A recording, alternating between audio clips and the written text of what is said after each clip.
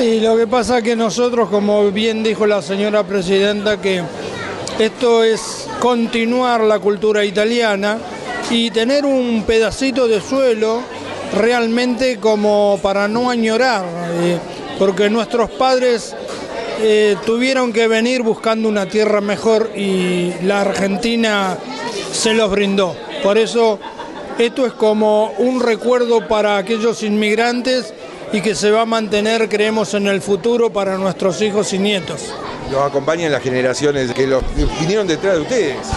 Sí, sí, por supuesto. Eh, realmente yo que he venido como inmigrante con mis padres y mi hermano, eh, realmente sé lo que es el, el desarraigo de una, de una nación, el dejar eh, abuelos, como bien dijo acá la señora presidenta, el, el que después poder traerlos, muchos pudieron traer a sus abuelos, sus padres, otros no.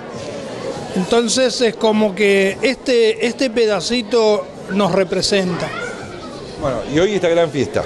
Sí, hoy es esta gran fiesta del 130 aniversario que em, pensamos que tiene que haber otros 130 años más. por supuesto. Sí, sí. Eh, al menos nosotros vamos a hacer y los estamos haciendo todos los esfuerzos para que eso sea posible.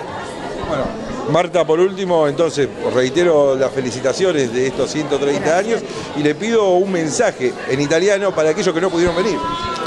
Que lamento eh, che non sia possibile che si trovano in questo momento qui, ma in nostro eh, cuore eh, stanno tutti.